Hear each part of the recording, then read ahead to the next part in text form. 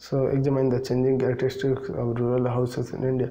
The changing characteristics of rural houses in India. That what the, is the change? The traditional rural houses are constructed are constructed based on local resources. That is in areas where precipitation is above 100 centimeter bamboo houses, Himalayas, rock built houses, plains, mud mud built.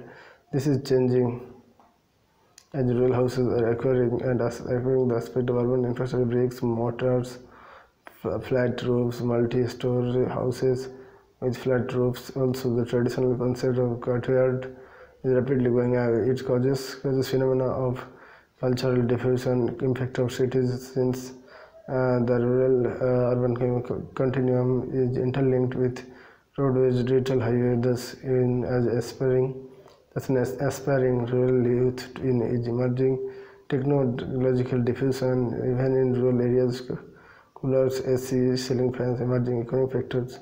The trickle down effect has led to rural household income in certain areas. Structural factors PMGAY construct construction of Pakka houses based on urban infrastructure features, where it, in, it is mostly visible in the peripheral areas of urban setting, and then the phenomenon of distance setting.